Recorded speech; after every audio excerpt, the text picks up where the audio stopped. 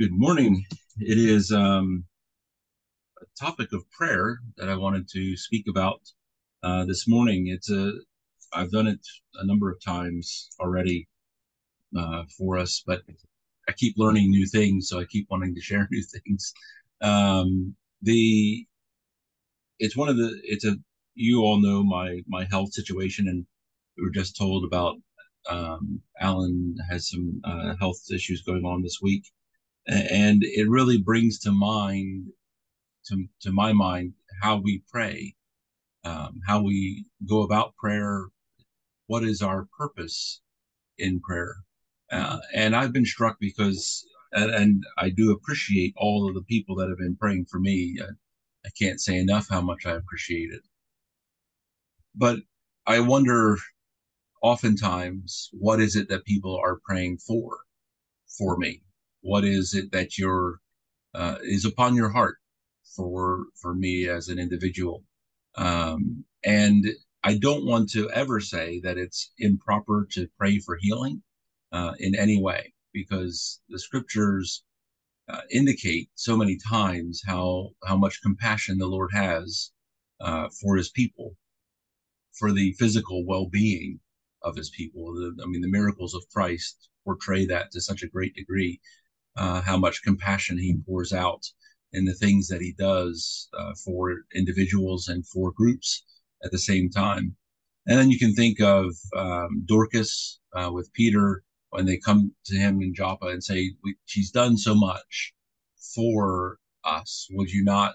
Um, you know, and they're they're asking Peter to intercede um, with a miracle and then we also have in the book of James where James is telling us to pray for the sick. Now, you can certainly, uh, there may be debate uh, between theologians and, and uh, teachers exactly what's being talked about there in James chapter 5 about praying for the one who is sick, because uh, what is said afterwards is that he will, um, when he called for the elders of the church and let them pray over him, anointing him with oil in the name of the Lord, and the prayer of faith shall save the sick, and the Lord shall raise him up. And if they have committed sins, they shall be forgiven him. It's fascinating that we notice that it's the prayer for the sick, and it does say that the Lord will raise him up, but the really important aspects that are noticed there are spiritual aspects. Uh, the spiritual life of that sick individual, the uh, the Lord uh, working in, in, in his life and forgiving sin. Uh, that's a, such a greater impact than the healing of the body. And again, I'm not saying we shouldn't pray for healing. Um, I think that that's a, a, legitimate thing to pray for uh, for God's people, but we ought to be praying that the Lord's will be done, uh, that His name would be magnified and glorified in whatever the, the circumstances are for the other individual, because it goes back to something that Moses says in Deuteronomy 29. In Deuteronomy 29, uh, it says, The secret things belong unto the Lord our God, but these things which are revealed belong unto us and to our children forever, that we may do all the words of this law. The secret things have always belonged to God. They always have and always will belong to God. The things that He has revealed, He has given to us. He's revealed them in his word. Uh, and unfortunately, we don't have the privilege that a Peter or a Paul had. Um, we don't have the privilege of knowing specifically God's will for an individual regarding their health, regarding what is going on next in God's life and in their life with God. And that's something that ought to inform our prayers that's something that ought to inform our how we go about praying for individuals, uh, how we go about praying for ourselves, uh, and also how we go about praying for revival. Um, the secret things belong to God. We hope that God will heal our brother. We hope that God will strengthen us. We hope that God will send revival. Uh, but we don't have the guarantee that he will. But we do have guarantees in Scripture of what God will do uh, for us through prayer. Uh, and I wanted to look at some of those this morning uh, from that viewpoint, uh, looking at if we pray according to Scripture, uh, then we can be confident in what God is going to do uh, because He teaches us to pray that exact way. Uh, we can think of the what people often call the, the Lord's Prayer. I call it the model prayer. Um, but we're not looking at that this morning. What we're going to be looking at is a number of things. Uh, the first one is when we pray for ourselves. How do we pray for ourselves?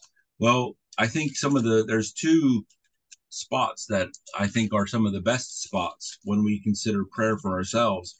Uh, the first one, uh, these will be familiar passages. Uh, they, they won't be unfamiliar to you at all, I think. Uh, Psalm 51. Psalm 51, you can turn there. We're going to read the first 12 verses. And think about this when it comes to us uh, before the Lord. Have mercy upon me, O God, according to thy loving kindness, according unto the multitude of thy tender mercies, blot out my transgressions. Wash me thoroughly from mine iniquity, and cleanse me from my sin. For I acknowledge my transgressions, and my sin is ever before me. Against thee, thee only have I sinned and done, the, done this evil in thy sight, that thou mightest be justified when thou speakest, and be clear when thou judgest. Behold, I was shapen in iniquity, and in sin did my mother conceive me. Behold, thou desirest truth in the inward parts, and, and in the hidden part thou shalt make me to know wisdom. Purge me with hyssop, and I shall be clean. Wash me, and I shall be whiter than snow. Make me to hear joy and gladness, that the bones which thou hast broken may rejoice. Hide thy face from my sins, and blot out all mine iniquities. Create in me a clean heart, O God, and renew a right spirit within me. Cast me not away from thy presence, and take not thy Holy Spirit from me. Restore unto me the joy of thy salvation, and uphold me with thy free spirit. Now, when we're thinking about the things we're going through, the, the difficulties, the trials, the tribulations, uh, the ups, the downs, that prayer that David is giving, and he keeps going, but we're, we're just focusing on a couple of verses uh, that prayer that he gives is amazing because what does he want? He wants a right spirit with God. Create in me a clean heart, O God, and renew a right spirit within me. Align me with you. Isn't that a better place than having a perfectly healed body? I'd love to be healed. I'd love to be able to have all the strength I had when I was 20. I don't think that's going to happen. Uh, but what can happen. I know what can happen. I can have a right spirit with my God. And in verse 12, he says, Restore unto me the joy of thy salvation. Restore that to me and uphold me with thy free spirit. Well, I am completely confident that God can and does and will restore the joy of the salvation that he gives. He does it all the time, doesn't he? He's constantly reminding us of what Christ has done for us. And the joy wells up within us when we realize that Jesus Christ has died for us, that he has given the ultimate price for our benefit, that we are actually the reason he came uh, to this earth uh, to live and to die. That's the joy of his salvation. And that can overwhelm the negative circumstances, the things that seem bad. And the the gift of that of his spirit uh, upholding us that is amazing. You, you ever feel like you have strength you didn't know where it came from? I can tell you where it came from. It came from the Lord. And He does that. He does that for His purposes. And we can pray accordingly. And then again, I don't want to dwell too long on, on any one thing, but uh, keep in mind if you turn over to Matthew chapter 5, Matthew 5, the Beatitudes. The Beatitudes are wonderful. I, I don't know how long, uh, if you've ever taken a long look at them, but the Beatitudes are a fantastic thing about what God is going to do for his people.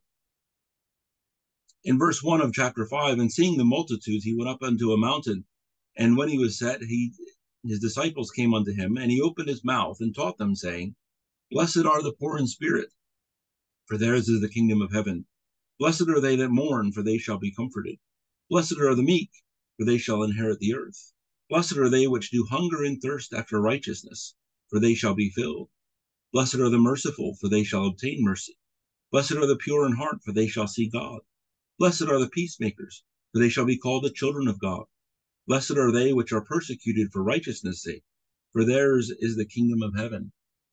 Blessed are the poor in spirit, for theirs is the kingdom of heaven. Think about that prayer of, of David just now. Renew a right spirit within him. Well, a right spirit is a humble spirit. Well, what does a humble spirit receive?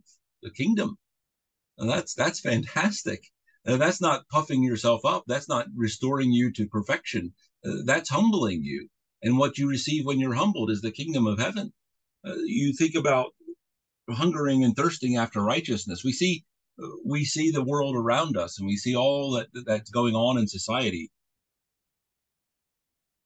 And sometimes we'll get distracted and we'll get depressed uh, and think, how in the world can anything good take place? But you keep hungering and thirsting after righteousness. Why? Because you'll be filled. That's the promise of the Lord. You pray for that. You pray for that, and He will fill you. He will fill you. What what is the righteousness of God?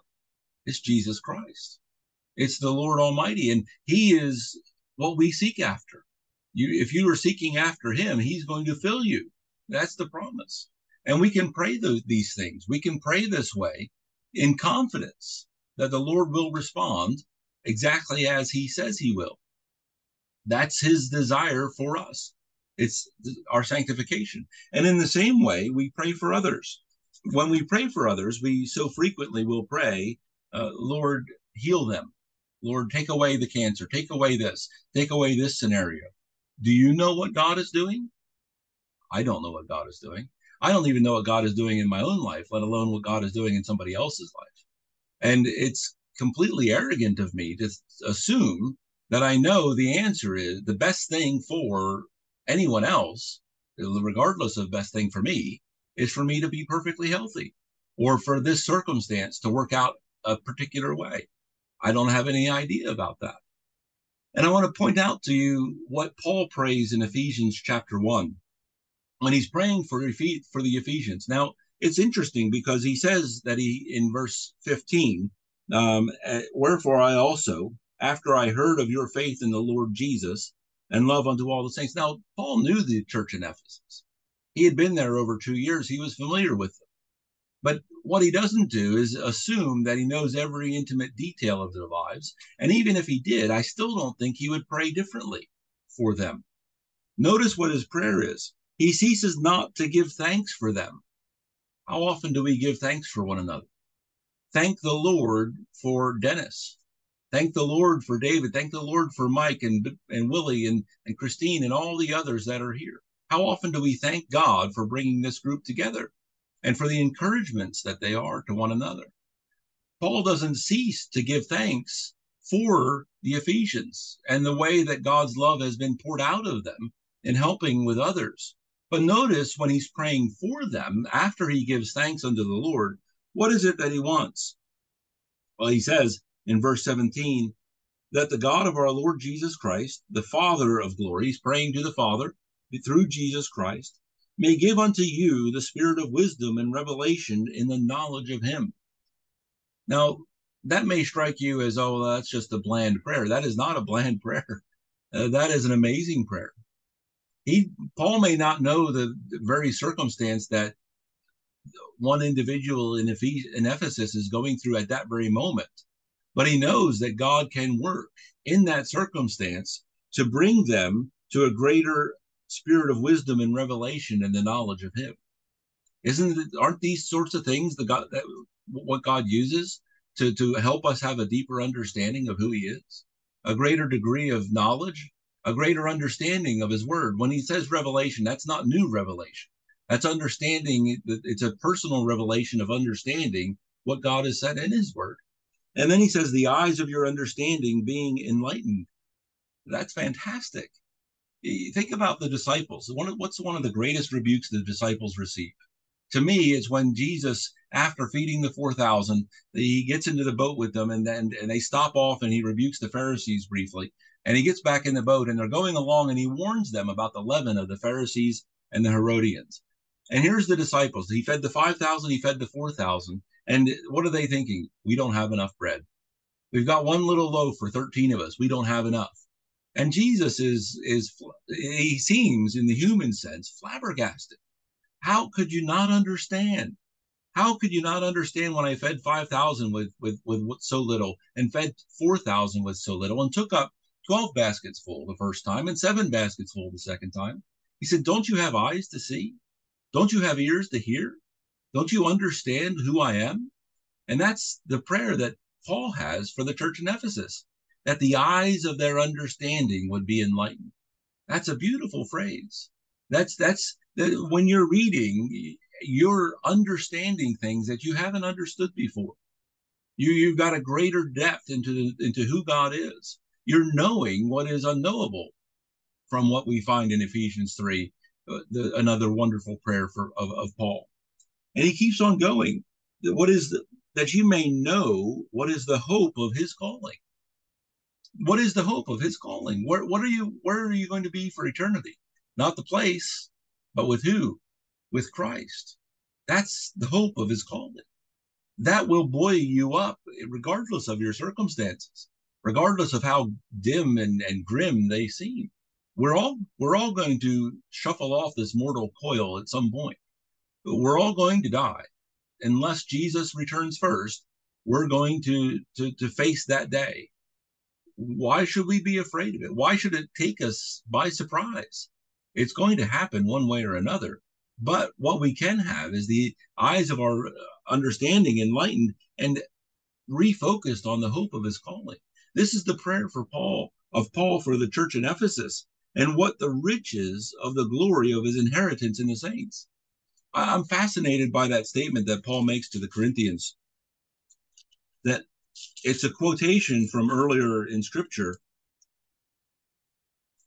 In 1 Corinthians 2 9, he says, But as it is written, Eye hath not seen, nor ear heard, neither have entered into the heart of man the things which God hath prepared for those that love him. Now, think about that for a moment. We have some descriptions of what glory will be like. We don't have many, but we have some. And we get focused on those. We get focused on pearly gates and streets of gold and a crystal sea and all these amazing things. And yet, the scripture tells us that we can't imagine, we can't actually think up the wonderfulness of what God has prepared for us. You can come up with the, the most amazing thing in your mind, and it dims in comparison to what God actually has. That's the hope of his calling, of the inheritance in the saints. That should make you rejoice regardless of the circumstances. And the circumstances should remind you of it because they remind you that this is the here and now is not the end for the believer. There is a hope of his calling and what is the exceeding greatness of his power to usward who believe. Uh, that's a fantastic two words, to usward. Uh, his power to usward. I love that because it, it reveals to us exactly what this book is about. It's about Christ coming for us. It's his power to usward. That's the whole reason for this book that we have, so that it would be revealed unto us who Jesus Christ is and that he would be displaying his power toward us. Now, we can pray for one another along these lines for the spiritual well being of the fellow believer. Isn't that what revival is all about? Isn't that what, exactly what we've been meeting for for these years? That we would we would each be revived, that the Lord would build us up in the faith. Uh, that's that the circumstances that that I don't enjoy the the side effects from this cancer. I don't enjoy migraines. I don't enjoy these things. But if the Lord is going to use them for this, all right, count me in. That's the that's the idea that Paul has here in this prayer. Take the circumstances because Paul learned this, didn't he? Think about where Paul was and all the suffering that he went through. I mean, Jesus tells him in very in the beginning, he even tells Ananias when he when Ananias is is is, is not real interested in helping uh, Saul at the time. He says, "I'm going to show him the things that he must suffer." Why is he going to suffer?